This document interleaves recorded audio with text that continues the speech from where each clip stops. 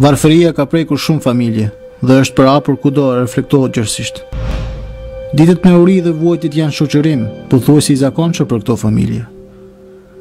QSA ka lansuar nga viti 2009 projektin Bukë dhe Shpresë. Ky projekt përmban furnizimin sistematik të familjeve në mënyrë mujore, me një pako e cila përveç produkteve ushqimore përmban edhe produkte higjenike. Prej dy mijë e nëntë deri sot QSA furnizon çdo muaj më tepër se pesëdhjetë familje në komunën e Preshevës e Bujanocit, në Kumanovë e Likovë. Përmes këtij projekti, QSA synon që të solidarizohet me familjet në nevojë, duke ua kthyer shpresën se dikush përkujdeset për këto familje. Ta zbusim mjerimin, solidarizohu me një familje në nevojë.